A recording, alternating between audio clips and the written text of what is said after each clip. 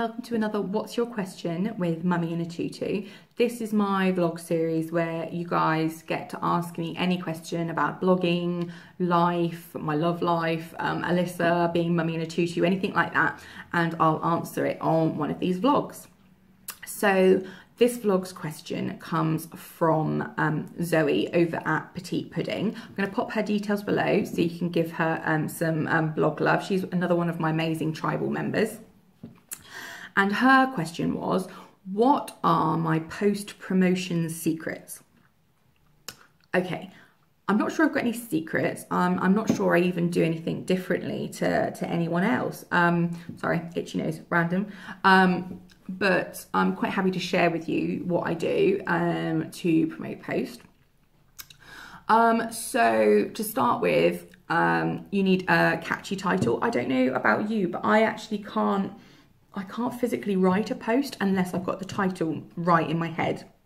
So if I've got an idea for a post, I'll usually spend like two hours, two, three hours just walking around the house doing what I've got to do as normal with Alyssa um, or housework or whatever, and I'll be thinking about the post idea in my head and trying to think of a title that works. Um, because unless the title clicks with me, I know that it's not actually going to be um, a good blog post. Because if I can't get the title right, then I won't get the the writing right for the rest of the post. So first of all, you need a title. I am um, I'm partial to a good clickbait title you know, um, I've done posts that have been titled "How to Get Noticed as um, a Blogger, Boobs and Ass." Um, you know, that was a really clickbaity title. Um, Get off your ass, blogging isn't a real job. Again, clickbaity title. They don't all have to have the word ass in, by the way. That's just two random examples. Um, one of my biggest ones was um, personal ad, blogger seeks tribe. Um, and then I also followed that up with personal ad, blogger seeks husband, which didn't work. Tribe one worked, husband one didn't work. Um, so yeah, so a good title is always a good idea. And then obviously write it, blah, blah, blah. So blog post promotion. Now I use Buffer um, to schedule. I actually have the small business one because I needed that number of, um, of posts available, especially when I'm running um, a giveaway so I schedule, um, I schedule once to go on Pinterest and I actually sit down and write a proper paragraph for that. And I try and get in as many like possible search words as is I could think of. So for example, recently I've done my chicken and mushroom vegetarian um, pie recipe. So, you know, I wrote um, I wrote a brief overview for Pinterest, you know, included vegetarian, chicken, corn, mushroom, um, and then leek, creamy sauce, pie, pastry, crust, and try and get all of those in there because the more words you can get in that you could think of, um, the more likely people are to find you. If you think that if you were looking for that recipe on Google, what words you would type in to try and find it, those are all the words that you should be including for Pinterest. Um, Twitter um, Twitter, I tend to um, schedule um, for a new post that's brand new out that day. I tend to schedule it three times for one day um, to hit all the prime peak times. So you've got prime peak time in the morning, which is 6.30 a.m. to 8.30 a.m. 9-ish. Then you've got um, 12, to, 12 until 1.30 p.m. And then you've got 7 p.m. till like 9.30, 10 p.m. These are the peak times when people are online and people will scroll through and like and things like that. Um, so I schedule, on the first day, I schedule um, them for those three peak times. And then after that, I'll, for a week after, I'll schedule it once, maybe twice a day. But I do schedule the full 24 hours because I have American followers as well. So I'll make sure that I put one in English time and one in American time too.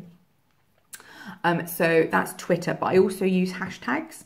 If you follow a group called um, at Bloggers Blast on on Twitter, and then when you um, promote something, if you put hashtag Bloggers Blast on them, um, they'll actually um, retweet it for you uh, and they've got like hundreds of thousands of followers. And there are several different groups that do that. You know if you want bloggers to read your post if you're doing bloggers tips and things like that then you might want to add the hashtag hashtag bloggers um, wanted bloggers required. If you want um, if you're looking for um, brands to work with you can try hashtag pr request um, things like that. Um, and then it, it all depends really on who your post is aimed at. If I do food ones, I'll do hashtag foodies or hashtag foodie bloggers, that kind of thing.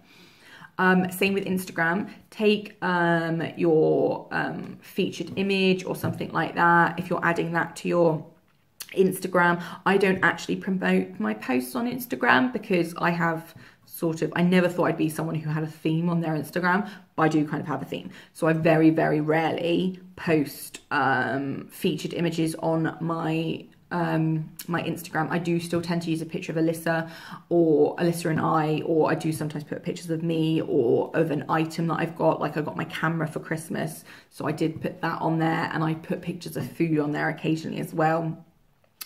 Um, so yeah, if you do post something on Instagram, make sure that you use um, all of the um, hashtags that you have available to be able to use. You can use up to 30, and there are also um, apps in the App Store that will generate the um, hashtags for you, so that's good as well.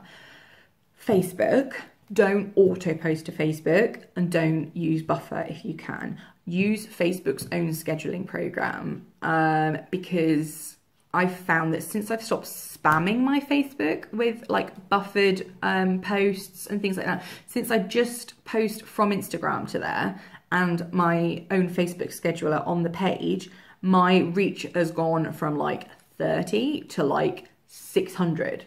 Um, it's really, really changed and I'm getting a lot more interaction as well. So I would say definitely um, just use the Facebook's own scheduler and you can still use hashtags as well. Um, you know, don't go nuts. I'd say two or three maximum because people don't want to be scrolling through like hundreds of hashtags to get to the post itself. Um, and I also find that if you write three or four, copy and paste the first three or four lines of your um, blog post in as well. Um, because people will start reading, they'll be like, oh, I want to know what happens next.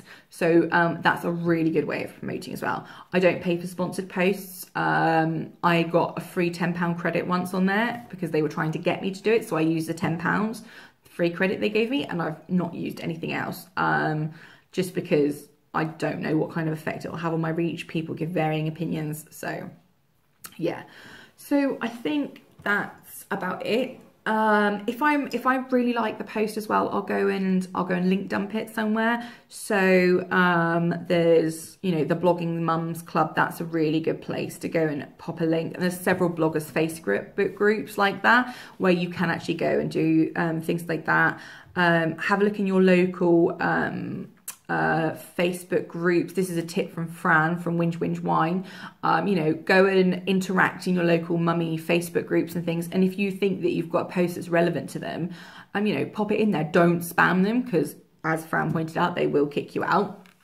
But you know, if it's going to be something that's useful to them, then try that. There's also, you know, Netmums occasionally lets you um, pop links as well. And another one that's really good is head over to StumbleUpon. We actually have a tribal StumbleUpon where we take it in turns to stumble for each other, and that's really, really good too.